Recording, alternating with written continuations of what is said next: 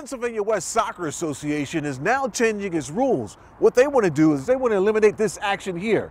It's called heading. And basically, they want to try to eliminate concussions among the young players.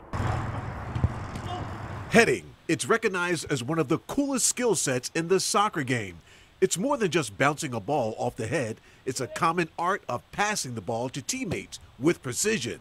But it can sometimes be dangerous. His head hit into my head, um, breaking this bone, and Knocked you out? knocked me out for just a second. I had to get carried off the field.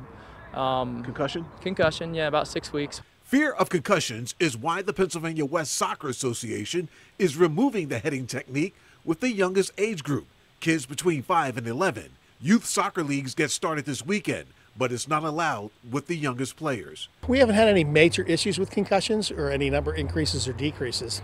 However, if a rule can prevent one kid from having a brain injury, we'll follow the guideline and, and promote it.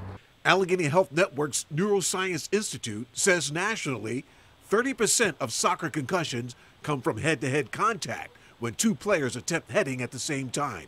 But there's also the fear of the unknown when it comes to young kids repeatedly heading a soccer ball when their brains are not fully developed. The repeated heading of a ball in a young brain which is not fully developed, it's still basically developing the insulation around the brain cells, the myelin, what this can do in years to come. But Riverhound players say good luck trying to get kids to avoid heading. It's good for the safety, but it's going to be hard for kids to be able to not want to head the ball.